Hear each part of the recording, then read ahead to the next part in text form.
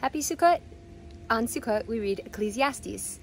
King Solomon, the wisest of all men, he had everything in the whole wide world. And at the end of all of his wisdom, he basically realizes that everything means nothing. The only thing we need to do is really just enjoy this life and try to walk with God. I just thought this was really cool because it reminded me of this meme I saw that says, All we have to do is die. That's it.